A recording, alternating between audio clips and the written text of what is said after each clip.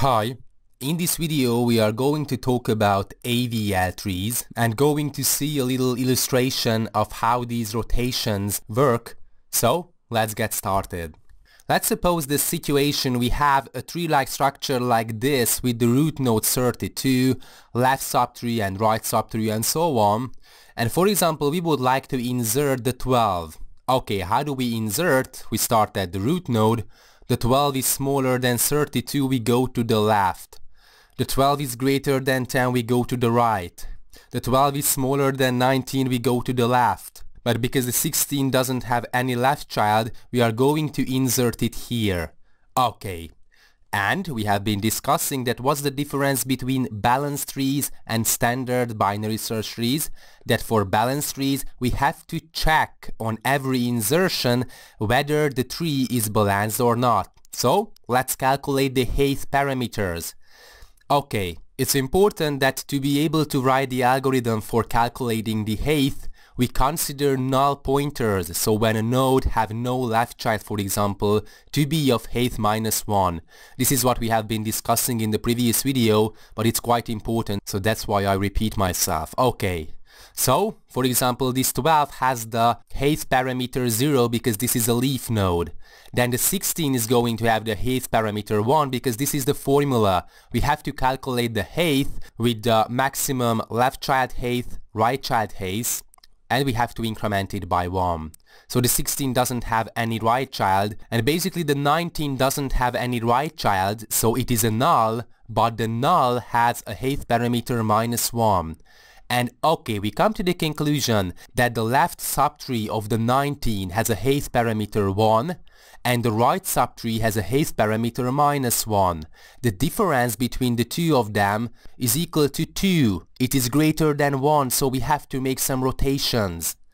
Okay, so after the right rotation, it's going to be the new binary search tree. We have the 16 and the left child of 16 is going to be the 12, the right child of 16 is going to be the 19. It is a valid binary tree again, but in this case it is much more balanced. Okay, so let's calculate the height parameters. All the leaf nodes have a height parameter 0, and then we have to use this recursive formula. So that's why the node 16 is going to have the height parameter 1, then we can calculate the height parameter with the help of recursion. And after the rotation, it is a valid balanced tree. The height of any left and right subtree do not differ more than 1, so no further rotations are needed. Okay, so let's prove it. For example, this is the left subtree and right subtree of the node 16. Okay, both of them have the height parameter 0, we don't have to rotate. What about this one? We have the right subtree and the left subtree for the node 10. We have the height parameter 0 and 1. They do not differ more than 1, so we don't have to rotate them. Okay, what about the left subtree and the right subtree of the root node? We have the height parameters 2 and 1. They do not differ more than 1, so we come to the conclusion that this is a balanced binary tree. We don't have to make further rotations. Okay, let's consider another example. We would like to create a balanced tree out of a sorted array. We have the 10, 20, 30, 40, 50 and 60. We have been talking about in the first lecture that if we construct a binary search tree out of a sorted array, then we are going to end up with a linked list with the ordo and linear time complexities.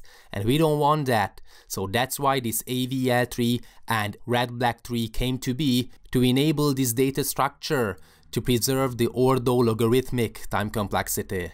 So let's consider this example and take a closer look at how AVL trees work. Okay, the 10 is the first item, so we don't have to consider anything. Then the 20 is going to be greater than 10, so it's going to be the right child of the 10. Okay, it's going to be a balanced tree, but let's check it. We have to check starting from the node we have inserted. It doesn't have any left or right children, so basically it is a leaf node that's why the height parameter is going to be 0 for the node 20. Okay, so basically this 20 doesn't have any left or right children, there are null pointers and the null pointers height parameters are minus 1. The left subtree has a height parameter minus 1 because of this, and the right subtree height parameter is minus 1. Okay, the difference doesn't exceed 1. What about the root node? It has a left subtree, basically a null pointer with the height parameter minus 1, and the right subtree with a single node, 20. The 20 is a leaf node with the height parameter 0, the left null pointer has a height parameter minus 1, the difference between 0 and minus 1 doesn't exceed 1. So let's continue with the insertion. 30 is greater than 20, 30 is greater than 20, so it's going to be the right child of 20. Let's check whether the AVL properties has been violated or not. What about the 30? It doesn't have any children, so the left child is a null pointer, the right child is a null pointer. This node is basically balanced. What about the 20? It has a null left child with height parameter minus 1 and the right subtree with a single node 30 because it is a leaf node, its height parameter is 0. The difference doesn't exceed 1, so that's why this subtree starting at the node 20 is going to be balanced. What about the root node? The root node left child is a null pointer with the height parameter minus 1 and the left subtree is going to have the height parameter 1. Okay, because the height parameter of the leaf node is 0 and the 20 has a right child is 30 with the height parameter 0 so we just have to increment its height parameter to get the node 20 height parameter. 0 plus 1 is 1 so that's why the roots node left child has a height parameter minus 1 and the right child height parameter 1. The difference between the height parameters is greater than 1, so we have to make rotations. And this is basically the doubly right heavy situation, so we have to make a left rotation on the root node, which is the node 10. Okay, this is going to be the solution. We would like to continue with our insertion, so let's insert 40. 40 is greater than 20, so we go to the right. 40 is greater than 30, so we insert it to be the right child of the 30. Let's check whether the AVL properties are violated or not. Okay, the node 40 is a leaf node, so basically it is balanced. What about the 30? It has a left child null pointer with minus 1 height parameter and the right child node 40 with height parameter 0. The difference doesn't exceed 1, so this subtree is considered to be balanced. We keep going to the root. What about the root node? The root node left subtree has a single node, the node 10, it has a height parameter 0 because this is a leaf node. What about the right subtree? It has a height parameter of 1. The difference between 0 and 1 does not exceed 1, so it is a balanced binary tree. Let's keep on inserting items. 50 is greater than the root node, so we go to the right. 50 is greater than 30, so we go to the right. 50 is greater than 40, so we insert it to be the right child of 40. Let's check the AVL properties and the height parameters.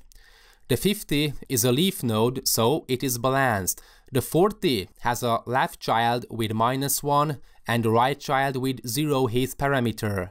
This subtree is balanced, keep going in the direction of the root node. This 30 has a left subtree with the null pointer basically, with height parameter minus 1, and the right subtree starting with the node 40 with the height parameter 1. The difference between the height parameters is greater than 1, so we have to make a rotation. This is basically the doubly right heavy situation. So we just have to rotate this node 30 to the left. Okay, let's keep on inserting items. What about 60? 60 is greater than 20, 60 is greater than 40, 60 is greater than 50, so it's going to be the right child of 50. Let's check the height parameters. Okay, this is a leaf node, so by definition it is balanced.